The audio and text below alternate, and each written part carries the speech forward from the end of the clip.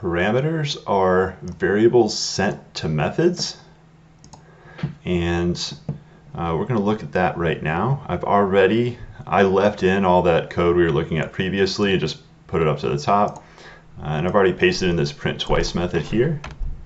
And what does print twice do? Now there's something new here. This right here says the print twice method is looking for a string called s. And if I put my cursor right uh, at s either side, it'll highlight it. And you can see that it appears twice here. It's going to print uh, s twice.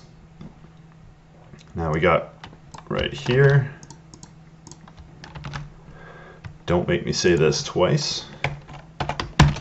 So let's go ahead and run it. Uh, we could put some breakpoints and run it in debug mode, uh, and feel free to do that. I'm just going to run it normally here.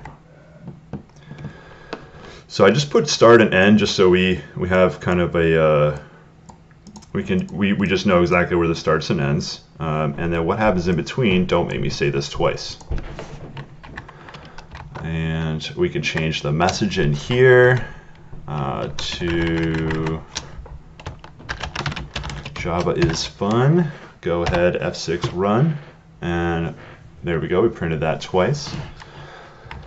And we can also do fun stuff like add in. Uh, what is this plus going to do?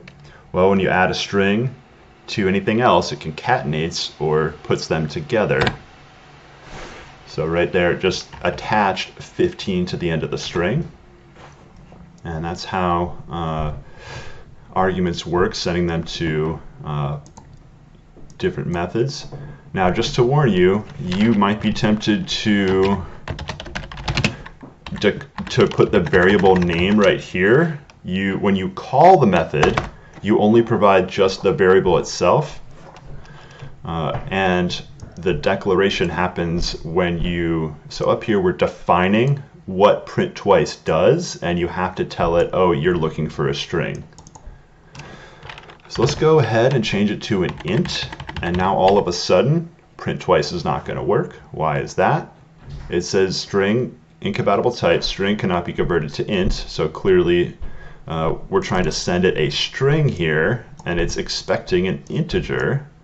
So let's fix that. We'll just send it 15.